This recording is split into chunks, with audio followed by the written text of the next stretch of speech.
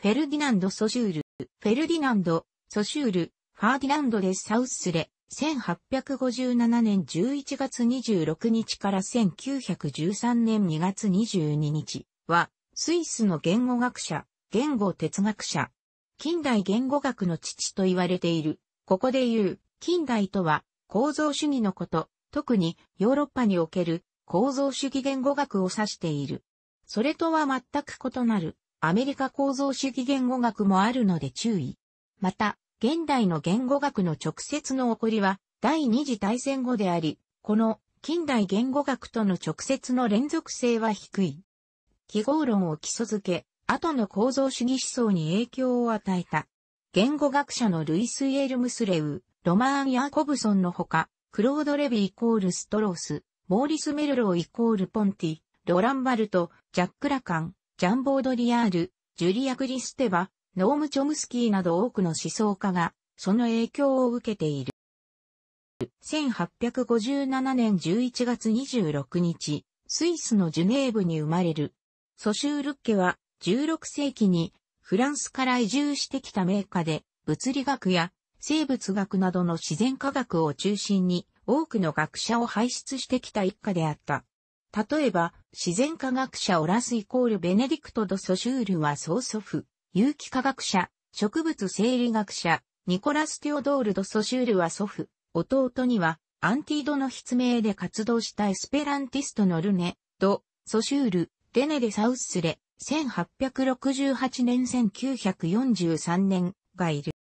1870年からギリシャ語を学び、1873年にギムナジウムに入る。1876年に入会し、10代にして数々の発表を行って名声を高める。この頃、ライプツヒに留学する。当時のライプツヒを中心に活動し、従来からの陰王語族の比較言語学に批判的な青年文法学派の新しい言語学に触れその知識を得る。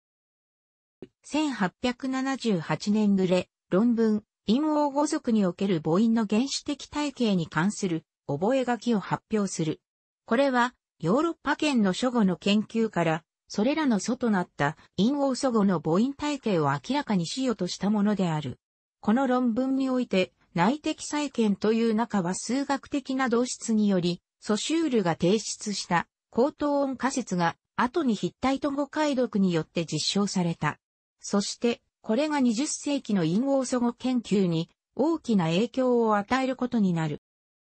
1878年7月にベルリンを訪れ、1879年暮れまでそこに滞在する。1880年からは再びライプツヒに戻り、ライプツヒ大学を卒業する。2月に論文、サンスクリットにおける絶対属角の用法についてライプツヒ大学に提出して博士号を得る。1880年の秋からパリに滞在する。1881年、パリ大学でミシェル・ブレアルの講義を聴講し、その才能を認められて、同大学のゴート語及び古代高知ドイツ語の講師となる。そして、そこで10年間にわたって教鞭を取った後、ジュネーブに戻る。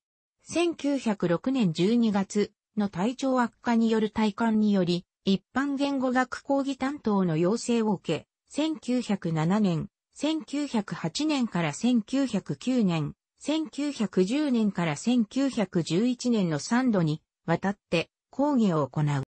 20世紀に入った頃から彼にとって言語学は中心的な興味の対象ではなくなり、もっぱらニーベルンゲンの歌の研究やアナグラムに取り組むようになる。1912年の夏には健康を害して療養に入る。1913年2月22日に死去した。ソシュールは言語を考察するにあたって、通詞言語学、表示言語学、ラング、パロール、シニフィアン、シニフィエなどの二分法的な概念を用いた。ソシュールは言語学を通詞言語学と教示言語学に二分した。従来の比較言語学のように言語の歴史的側面を扱うのが通詞言語学である。それに対して言語の教授的、非歴史的、生態的な構造を扱うのが教授言語学である。ソシュールはその両方を研究の対象とする。ただし、生前の研究成果のほとんどは、陰王語の比較言語学的研究に関するものであることで、それまでのように言語の起源や歴史的推移を問題にするだけでなく、ある一時点における言語の内的な構造も研究対象にし、それによって言語を全的に理解しようとした。教授言語学、記号論においては、言語の社会的側面、乱具、語彙や文法など、社会に共有される、言語上の約束時、コードと言語の個人的側面、パロール、今日は暑いとか、私はうなぎを食べたいなどといった個人的な言語の運用。メッセージに2分し、ラングを教授言語学の対象とした。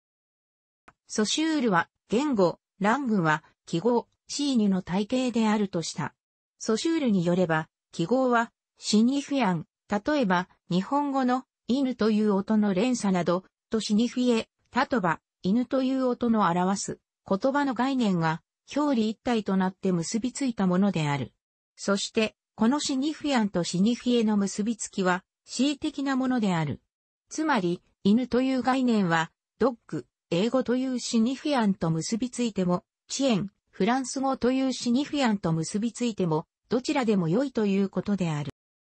さらに、ソシュールは音韻においても、概念においても、最大家が意味を持ち、その言語独特の区切り方を行っていると主張する。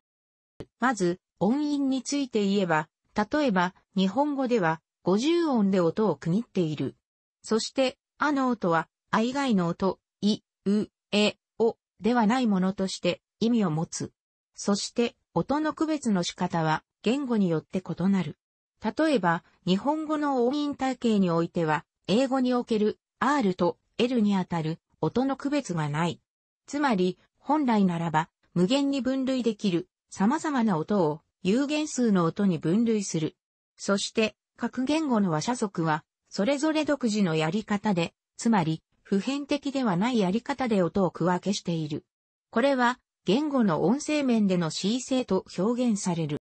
一方、音韻だけではなく、概念も言語によって区切られている。例えば、犬という言葉の概念は、犬以外のすべての概念、猫、ネズミ、太陽、工場、川、地球、との際で存立している。このように人間はシーニュという概念の単位によって現実世界を切り分けているのである。そしてその切り分け方は普遍的ではない。例えば日本語では虹の色を七色に切り分けているが、それを三色に切り分ける言語もある。つまり、色を表す言葉の数によって虹の色の区切り方が違うのである。また、日本語では、マグロとカツオを別の言葉で表現するが、英語では両方とも、ツナである。これは、それぞれの言語を話す人々は、どの際を区別し、どの際を無視するかということを恣意的に選択しているのである。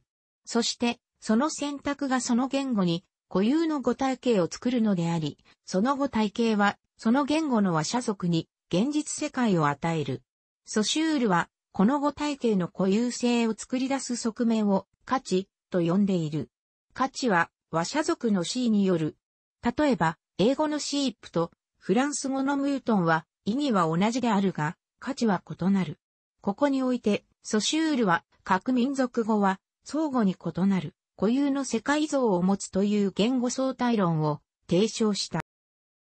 このように線引きの集まりを恣意的に作るという行為は分節と呼ばれる。そして人間は現実世界の認識の体系と言葉を構成する音の体系という二つの体系を分節によって作り当ているのである。これを二重分節という。なお、線引きが恣意的であることを後に際の体系と呼んだ評論家がいるが、それでは力点の置き方が異なるため、ソシュールの意図からは外れることになる。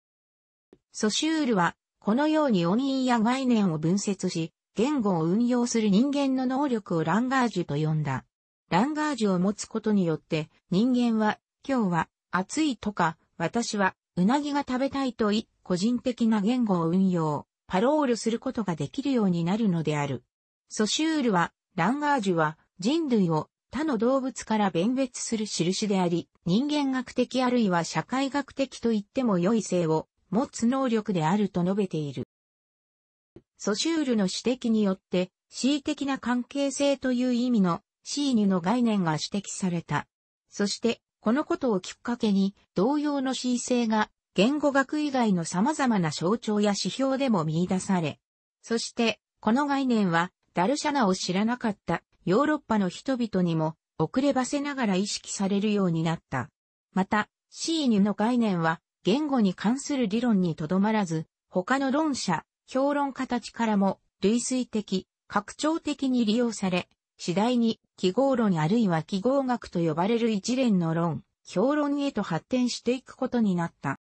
例えば、後の記号論者には、あるブランドに特定のイメージが関連づけられる仕方は、おおむね恣意的なものであり、他の類似ブランドとの際の体系を形成している、ということを指摘した者もいる。例えば、ボードリアールの消費社会の神話と構造もいる。評論家たちは映画や小説の作品を作者の個人的な生い立ち合いとではなく、同時代の関連作品との際の体系として読み解こうとした。これはマテクスト性の分析と呼ばれる分析方法であり、ロランバルトやジュリア・クリステバが使用した。しかし、これはソシュールの提示した概念に追うところが大きい。また、クロード・レビイコールストロースは、記号論的な考え方を文化人類学の領域に導入し、構造主義思想を確立した。そして、その影響は20世紀の哲学、数学、精神分析学、文芸評論、マルクス主義思想、生物学にまで及んでいる。ソシュールは存命中一冊の著書も出版しなかった。しかし、ソシュールには晩年の1906年から1911年にかけてジュネーブ大学において一般言語学についての講義を計3回行ったことがあり、その時に後にソシュールの弟子になるバイリとセシュエがまとめた一般言語学講義がある。ただし、彼らはこの講義をジュネーブ大学の別の講義に出席したため、直接聴講しているわけではない。なお、直接講義を受けた学生による講義ノートがエディットパルクから第1回から第3回まですべて出版している。1954年頃からジュネーブ公共大学図書館ではソシュールの講義ノート等の資料が収集され始める。そして、1957年に、ゴデルが一般言語学講義の原資料を、1968年には、エングラーが一般言語学講義改訂版を刊行する。日本への紹介は、小林秀夫による翻訳書版が、ソスユール、術、言語学言論と題して1928年に、岡書院から出版された。その後、出版元を岩波書店に変え、1972年刊行の解約版で一般言語学講義と解題出版された。丸山慶三郎は、ソシュールの思想とソシュールを読むを刊行した。彼は、その精緻な研究によって、ソシュールが歪曲されたまま伝えられたことを指摘した。楽しくご覧になりましたら、購読と良いです。クリックしてください。